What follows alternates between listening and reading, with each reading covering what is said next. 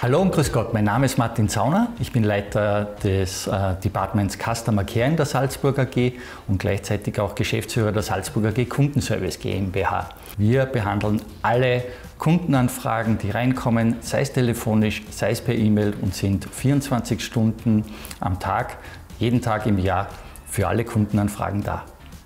Die häufigsten Kundenanfragen, die wir haben, betreffen natürlich die Stromanmeldung, die Stromabmeldung. Wenn jemand in eine neue Wohnung einzieht, dann braucht er dort äh, die Produkte von uns, sei es Strom, sei es Energie in Form von Gas, Fernwärme. Aber auch jetzt äh, ganz verstärkt in letzter Zeit auch unsere Internetprodukte sind äh, sehr, sehr gefragt.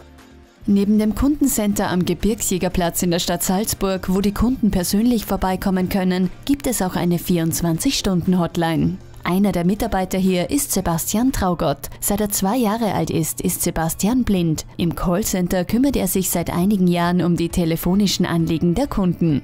Mein Job ist da die Betreuung der Vermittlung. Das heißt, jeder, der bei uns anruft über die äh, Hauptnummer, oder schon einen Ansprechpartner hat mit Durchwahl, der landet, falls der betreffende Kollege nicht abhebt, dann bei mir oder bei meinem Kollegen. Und wir geben ihm dann eben die Auskunft, ob er gerade besetzt ist, ob er gar nicht im Haus ist oder äh, nehmen gegebenenfalls einen Rückruf auf.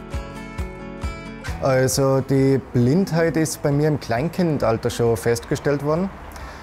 Deswegen habe ich auch keine aktiven Erinnerungen mehr an äh, irgendwelche Farben, Umrisse oder sonst irgendwas. Was mir aber bei der Jobsuche, naja, es hat mir vor gewisse Hürden gestellt, aber jetzt nichts, was man nicht meistern kann. Ja, der Sebastian, unser, unser blinder Mitarbeiter, ist über Vermittlung von Promente zu uns gekommen. Die haben uns das angeboten und vorgestellt und auch betreut und auch äh, dafür gesorgt, dass wir ihn gut, gut aufnehmen können und auch äh, mir und den anderen Mitarbeitern auch etwas die Ängste zu nehmen, weil es ja doch äh, äh, ja, nicht alltäglich ist, dass ein, eine blinde Person im unmittelbaren Arbeitsumfeld ist. Sebastians Arbeitstag beginnt um 7.30 Uhr. Da habe ich aber schon meine ganzen Computer gestartet. Ich schaue immer, dass ich recht früh da bin. Vorher brauche ich immer noch einen Kaffee. Ohne den bin ich ja nur der halbe Mensch. Gell? Ja, dann setze ich mich daher und warte eigentlich nur auf die verschiedenen Anrufe, die da so täglich einerkommen. Damit Sebastian seinen Job bestmöglich machen kann, braucht er einige technische Hilfsmittel. Genau, also ich habe da auf meinem Schreibtisch einen Laptop und einen zweiten Rechner, der als Telefonserver fungiert. Bei beiden Rechnern ist eine spezielle Tastatur angesteckt, die sogenannte Breilzeile.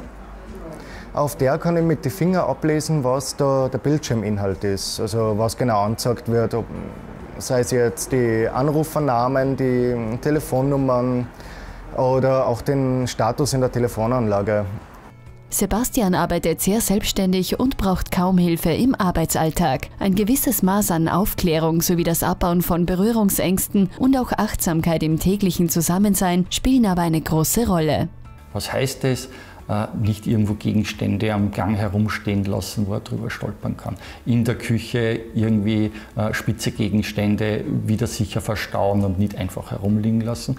Und insofern war es dann für uns auch doch äh, für das soziale Teamgefüge eine tolle Sache, dass wir ihn bekommen haben. Ja. Ich bin darin mit offenen Armen aufgenommen worden. Also Berührungsängste in dem Sinn hat es keine gegeben, nur ein paar Bedenken, die man aber über ein persönliches Gespräch dann sehr schnell aus der Welt geschafft hat. Das äh, meiste spielt sich in die Köpfe von den Leuten ab. Die haben noch äh, dieses äh, veraltete Bild von einem äh, blinden Menschen, so quasi, der kann eh nicht mehr machen, wie äh, ein bisschen telefonieren oder, oder Körbe binden oder solche Geschichten und ansonsten ist er zu nichts zu gebrauchen. Man muss einfach mal umdenken lernen auf die Menschen an sich zugehen und ihn auch wirklich so wahrnehmen, wie er der Einzelne wirklich ist. Also was mir ganz wichtig ist, nie Vorurteile haben und auch keinen nach dem Äußeren beurteilen, sondern den Menschen immer erst kennenlernen und dann äh, sich eine Meinung bilden. Wenn Sie Interesse an einem Job beim Greentech-Unternehmen Salzburg AG haben, dann melden Sie sich gerne unter www.salzburg-ag.at/karriere.